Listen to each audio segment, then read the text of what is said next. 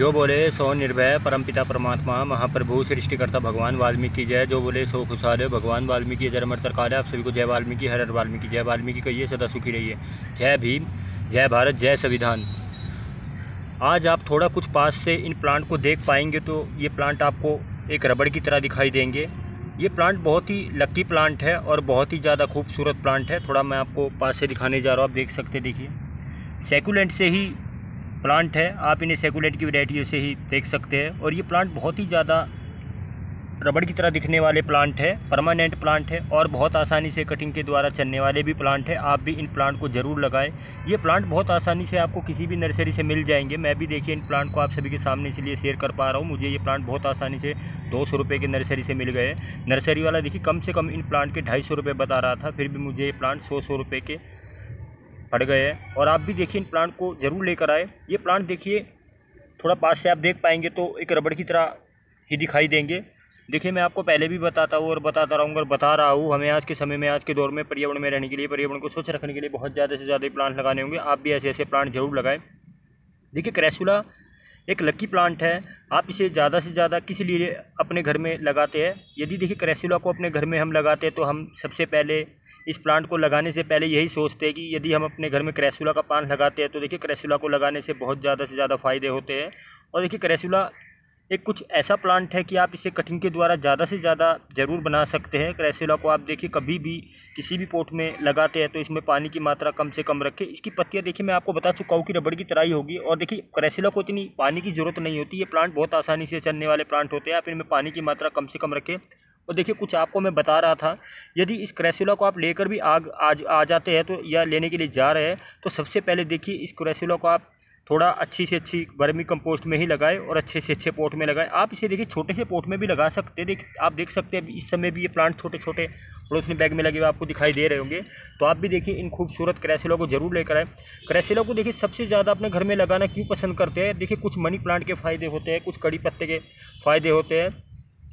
बहुत ही ज़्यादा कुछ ऐसे प्लांट हैं जिन्हें मैं आप सभी के सामने शेयर कर पाता हूँ और ये भी बताता हूँ कि देखिए, यदि इन प्लांट को अपने घर में आप लगाते हैं तो इनसे बहुत ज़्यादा फ़ायदे होते हैं, फ़ायदेमंद प्लांट होते हैं। क्रेसुला भी बहुत ज़्यादा फ़ायदेमंद ही प्लांट है, उन्हीं में आप इसे गिन सकते हैं। कुछ देखिए ऐसी वैरायटियाँ प्लांट की होती है कि उन्हें हम गिन भी नहीं पाते और देख भी नहीं पाते और पता ही नहीं चलता कि इन प्लांट के कितने फ़ायदे हैं। तो देखिए क्रेसुला के भी आपको बहुत ज़्यादा ही फ़ायदे होंगे। देखिए, मैं आपको कुछ इसके बारे में यही बता पाऊँगा कि यदि आप क्रेसुला को लेने के लिए जाएँगे तो आपको ये प्लांट बहुत आसानी से किसी भी आसपास की नर्सरी से मिल जाएगा। आप देखिए, इसकी पहचान बहुत आसानी से कर सकते हैं। क्रेसुला की देखिए, पहचान आप इसके पत, पत्तियों से ही आप बहुत आसानी से कर सकते हैं। देखिए इसकी पत्तियाँ एक रबड़ की तरह दिखाई देगी और बहुत ही खूबसूरत प्लांट है। आप इसे ज़्यादातर तो देखिए लक्की प्लांट ही मानते हैं। यदि क्रैसिलो अपने घर में लगाते हैं तो इसे कुछ लगाने से बहुत ज़्यादा से ज़्यादा फ़ायदे होंगे और फ़ायदेमंद ही प्लांट है। देखिए मैं आपको कुछ ये भी बता रहा था कि यदि मनी प्लांट को भी आप अपने घर में लगाते हैं तो उससे बहुत ज़्यादा फ़ायदे होते हैं। क्रैसुला को देखिए एक मनी का प्लांट ही माना गया है पैसे का प्लांट ही माना गया है और बहुत ही शुभ प्लांट माना गया है। तो कुछ ऐसे ऐसे शुभ प्लांट आप बहुत आसानी से अपनी मर्ज़ी के ज़रूर लेकर आए। मैं भी देखिए आप सभी के सामने ये बहुत ही दो खूबसूरत क्रैसुला के प्लांट शेयर कराऊँ और इनके बारे में देखिए मैं थोड़ी बहुत ही आपको जानकारी दे ही पाऊँगा। देखिए जितना मुझे इन प्लांट के बारे में पता होगा तो देखिए मैं इनको लेकर तो आ गया हूँ और ये भी आपको बताऊँगा कि आप इसे ज़रूर लगाएँ। और देखिए क्रैसुला को आप यदि लगा लेते हैं तो इसे इंडोर में रखें, छायादार प्लांट है, छाया में चलने वाले प्लांट है और देखिए, मैं आपको इसके बारे में ज़्यादा जानकारी दे ही नहीं पाऊँगा। थोड़ी बहुत ही यदि मैं आपको इसके बारे में जानकारी भी दे पा रहा हूँ तो यही कहूँगा कि आप इसे छाया में बहुत आसानी से ज़रूर रखें। और देखिए, आप प्रेसलों में पानी की मात्रा कम से कम, बहुत ही कम कम रखें और इसे आप बहुत आसानी से बचा कर रख सकते देखिए, कई बार कुछ ऐसा लगता है कि हम इस करेसुला प्लांट को लेकर तो आ जाते हैं, जिस समय हम इस प्लांट को नर्सरी से लेकर आते हैं तो ये प्लांट हमें देख देख सकते हैं। आप देखिए, आपके सामने में थोड़ा से पास से दिखाऊँगा, दोनों पोलिथिन बैग में करेसुला के प्लांट बहुत ज़्यादा पत्तियों से ग्रीन कलर के आपको दिखाई देंगे। तो कुछ समय बाद देखिए, यदि हम इन प्लांट को लेकर नर्सरी से आ जाते हैं तो इन्हें अपने घर में अच्छी से अच्छी बरीम कंपोस्ट अच्छी से अच्छे पोस्ट में पोट में भी लगा लेते हैं। और छाया भी रख, छाया में भी रख लेते हैं। तो देखिए, छायादार तो प्लांट ही है है।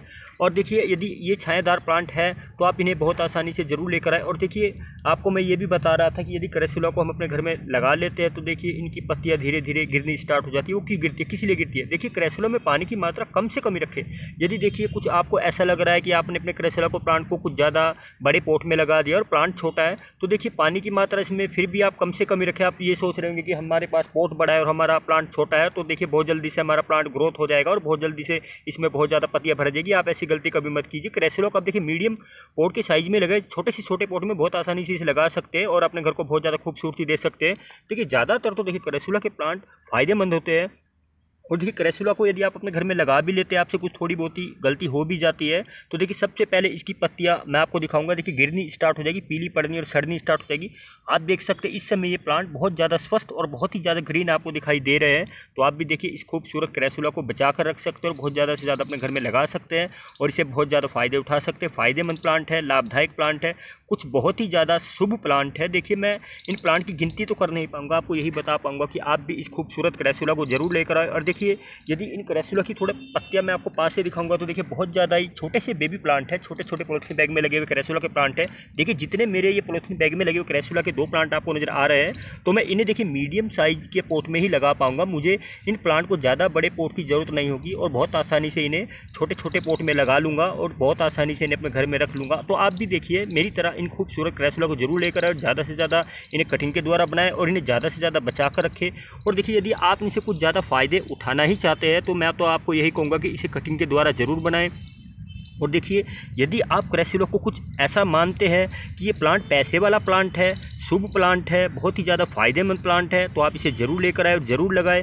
देखिए, आप भी क्रेसिलो को आसपास की नर्सरी से ले सकते हैं और बहुत आसानी से इसे पोलोथिन बैग में ही लेकर आए। कुछ आपको देखिए क्रेसिलो के प्लांट नर्सरी पर पोट में लगे हुए भी और कुछ ज़्यादा बड़े पोलोथिन बैग में भी लगे हुए मिल जाएँगे, पर देखिए, जितने आप इन प्लांट को पास से देखेंगे तो देखिए प्लांट छोटे छोटे प्लांट हैं। मुझे तो ये बहुत ही छोटे छोटे प्लांट बहुत ही ज़्यादा खूबसूरत दिखाई दिए और इसलिए मैं आप सभी के सामने इन्हें शेयर कर पा रहा हूँ। लेकर आ गया था तो आप भी इन्हें ज़रूर ज़्यादा से ज़्यादा लगा बहुत ही खूबसूरती इनसे ले।